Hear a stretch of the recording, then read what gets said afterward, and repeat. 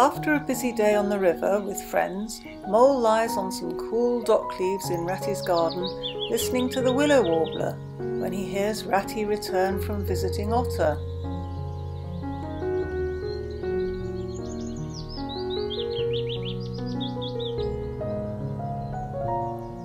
Ratty tells Mole how Otter's son has been missing for days, and Otter is very anxious.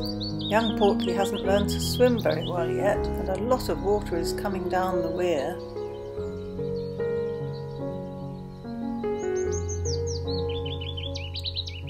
The otters have searched high and low,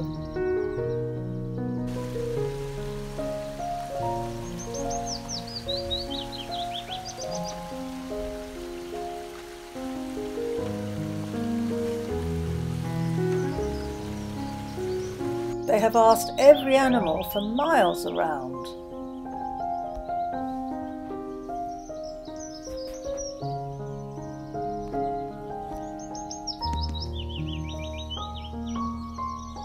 Some have searched day and night.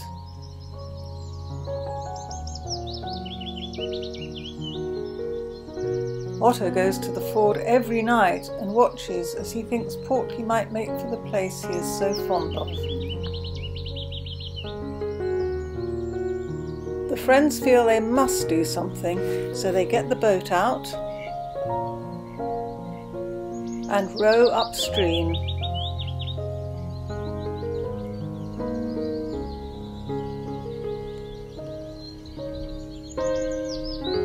Past a farm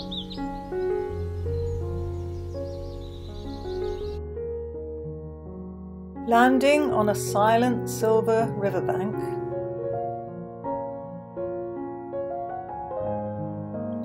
the boat tied up to a willow tree, they patiently explore the hedges, the hollow trees,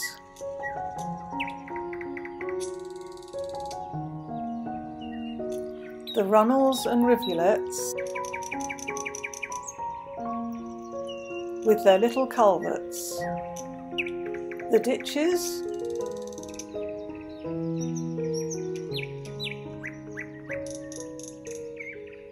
and dry waterways. Embarking again, they continue upstream with the moon serene and detached in the cloudless sky. Suddenly they are transfixed by an intoxicating piping melody and Mole rose gently towards it.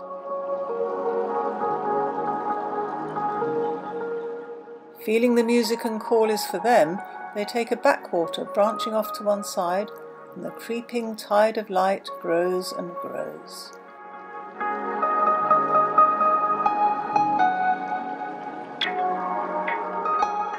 Purple loosestrife fringes the banks, vivid with roses, odorous meadow sweet, and riotous willow herb.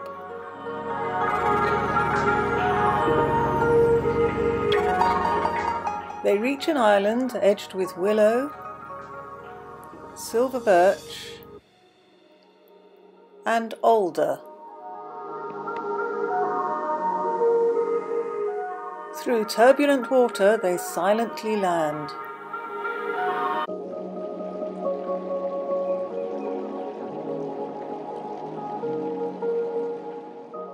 Push through the scented herbage to level ground.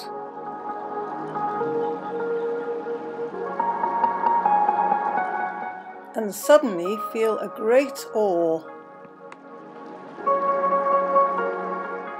Could this be the friend and helper of the wild, Pan, half man, half goat? Protecting the baby otter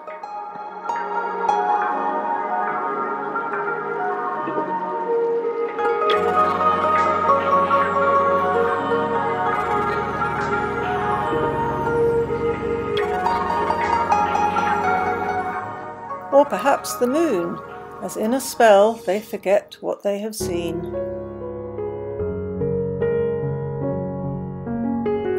and feel the joy of finding the little otter.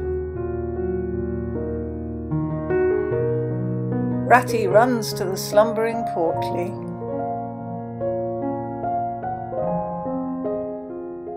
While Mole stands still a moment as one awakened from a beautiful dream.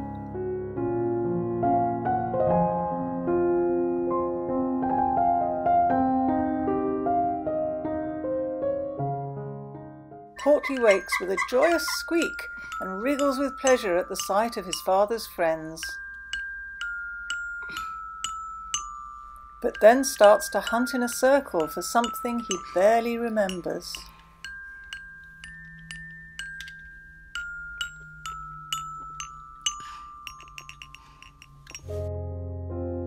At last he gives up and cries bitterly. Mole runs quickly to comfort the little animal.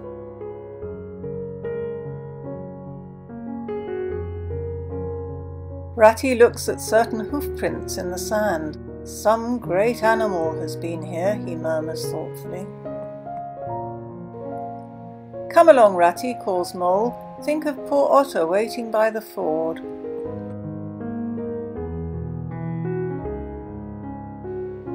They accompany Portly to the waterside and settle him in the boat.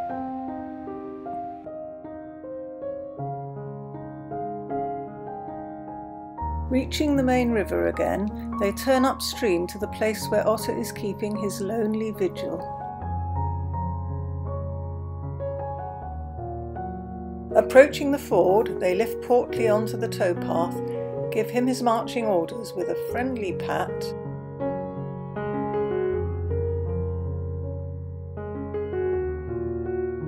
and watch the happy reunion.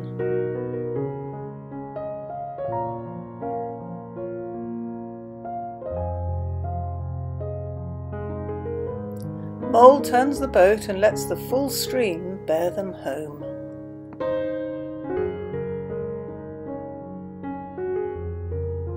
I feel strangely tired, says Mole, as if something very exciting but strangely terrible is just over.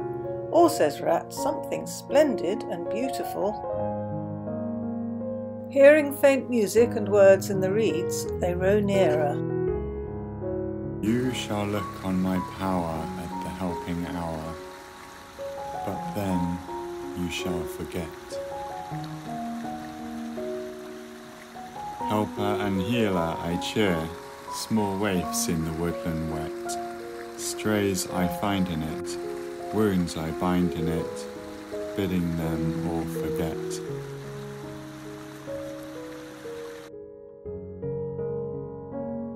But what do the words mean? asked the wondering mole but no answer came.